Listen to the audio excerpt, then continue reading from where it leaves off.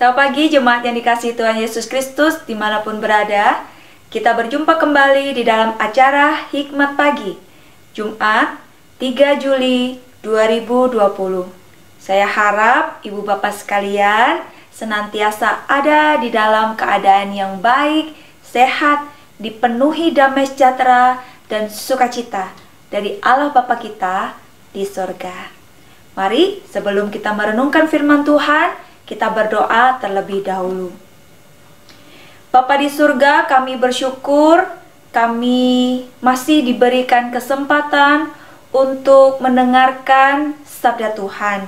Kami rindu kebenaran firman Tuhan yang akan kami pelajari bersama-sama pada pagi hari ini senantiasa menuntun langkah kehidupan kami dan membuat kami semakin mengerti apa yang menjadi keinginan hati Tuhan di dalam kehidupan kami.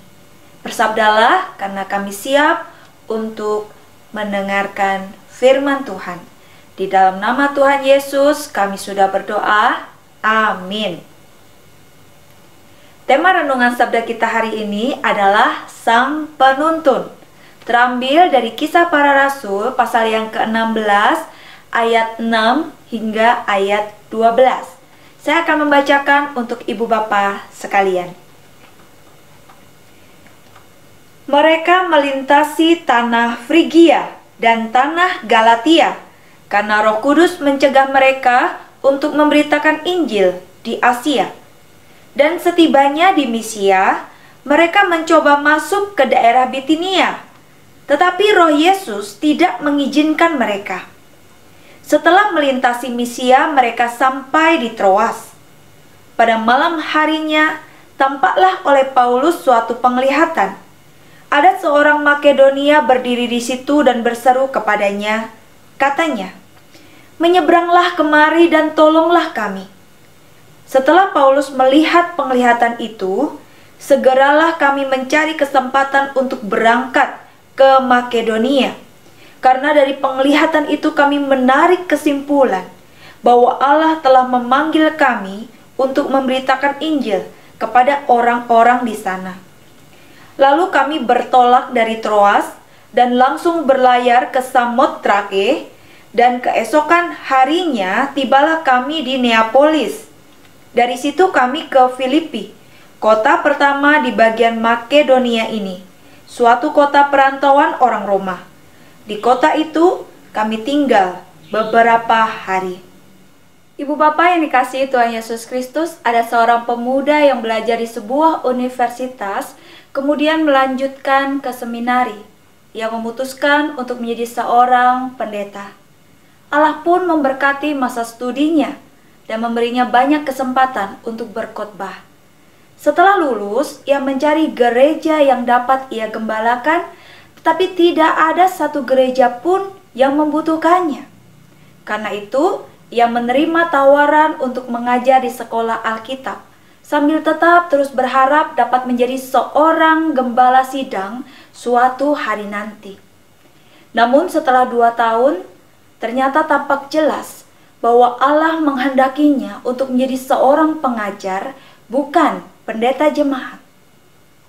Ya, ketika pemuda tersebut mengikuti tuntunan Tuhan untuk menjadi seorang dosen di sekolah Alkitab, maka ia dipakai secara luar biasa oleh Allah menjadi pengajar yang cakap dan dapat menjadi inspirasi bagi para mahasiswa-mahasiswinya.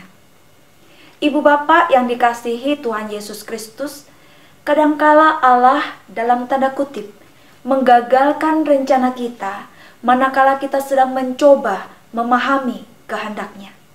Ketika kita mengarah pada satu tujuan, Allah merintangi jalan kita. Meski demikian, kita tetap akan menemukan kepuasan dengan arah yang dikehendakinya.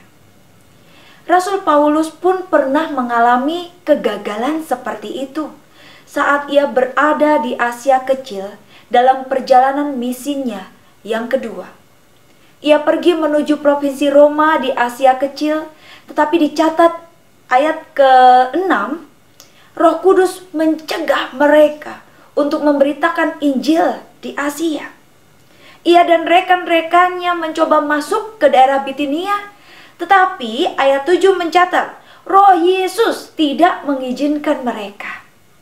Kemudian mereka melanjutkan perjalanan ke Troas dan Rasul Paulus mendapat penglihatan bahwa Allah mau mereka memberitakan Injil di Makedonia. Ayat 9 dan 10.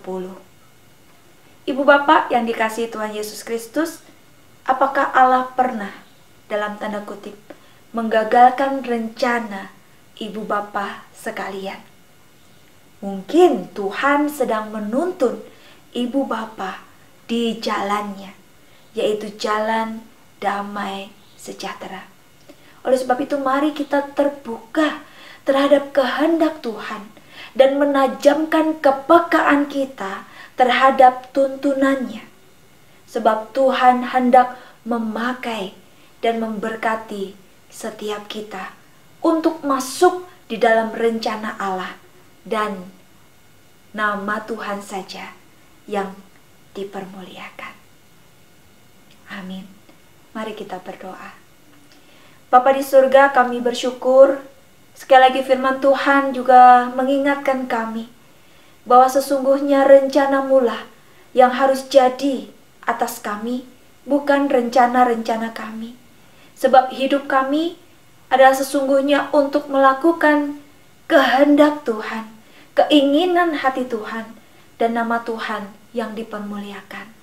Oleh sebab itu, berikan kepada kami keterbukaan dan juga kepekaan akan pimpinan dan rencanamu ya Tuhan. Sehingga hidup yang kami miliki ini sungguh-sungguh kami persembahkan bagi hormat kemuliaan namamu. Bapa di surga, kami menyerahkan kehidupan kami, dan juga seluruh rangkaian aktivitas kami dari pagi, siang, sore hingga malam nanti hanya di dalam tangan pengasihan Tuhan. Di dalam nama Tuhan Yesus kami sudah berdoa. Amin. Selamat pagi, selamat berkarya. Tuhan Yesus memberkati kita semua.